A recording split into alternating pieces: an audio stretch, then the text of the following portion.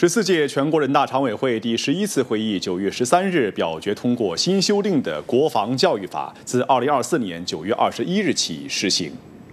国防教育法是二零零一年四月二十八日由全国人大常委会颁布实施，到现在已经实施了二十多年了。那这次修订的目的是什么呢？新修订的内容中如何对我国国防教育的内涵定位进行明确？来听全国人大常委会法工委国家法室主任童卫东的解读。当前，我国面临的安全和发展形势啊复杂多变，国防教育面临着新的形势和任务，党中央。对加强全民国防教育作出一系列的重要决策部署，如对全民国防教育的领导体制，呃进行了改革，将军队以及地方党委政府负责的国防教育的职能统一调整为由党中央和地方党委负责，加强党对国防教育的领导。再如，为了提高国防教育的针对性、时效性，呃，中央有关文件呢，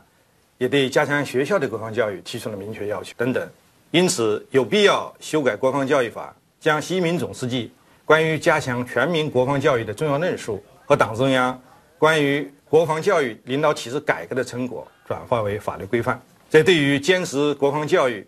的正确方向，提升国防教育的质量和水平，具有重要意义。新修订的国防教育法，它是怎么样去阐释国防教育的内涵定位的呢？呃，原来的国防教育法对国防教育啊，只有定性。没有定义，呃，国防教育法的内涵是什么？包括哪些内容啊？只能从相关的法律条文中啊去归纳总结。那么这次修改国防教育法呢，明确了国家在全体公民中开展以爱国主义为核心、以履行国防义务为目的，与国防和军队建设相关的理论知识、技能，以及科技、法律、心理等方面的国防教育。对国防教育的内容啊，做了概括性的规定。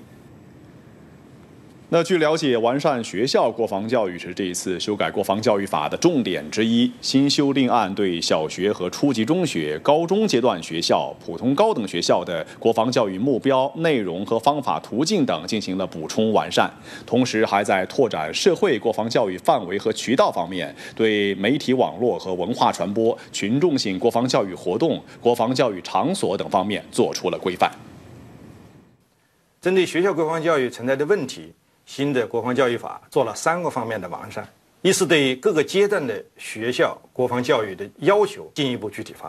二是明确国防教育应当与兵役宣传教育相结合，增强学生依法服兵役的意识，营造服兵役光荣的良好氛围；三是针对大家反映比较多的，呃，学校军训质量不高的问题啊，呃，新的国防教育法也做了规定，普通高等学校。高中阶段的学校应当按照学生军事训练大纲，加强军事技能训练，磨练学生的意志品质，增强组织纪律性，提高军事训练的水平。随着时代的发展和科技的进步，为了增强国防教育的针对性、时效性和时代感，新修订的国防教育法还在拓展社会国防教育范围和渠道方面，对媒体网络和文化传播、群众性国防教育活动、国防教育场所等作出规范。这次修改国防教育法呢，明确了要创新宣传报道方式，推出优秀文艺作品，宣传发布先进典型，发挥红色资源的教育功能，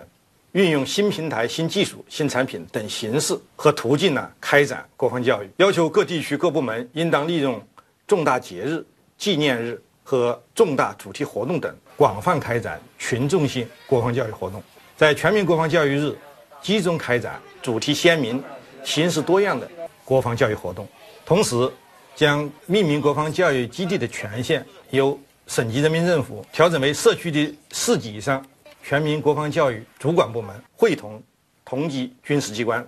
来确定，积极推进国防教育基地命名建设和管理工作。等等啊，通过完善相关的保障制度，提升国防教育的质量水平。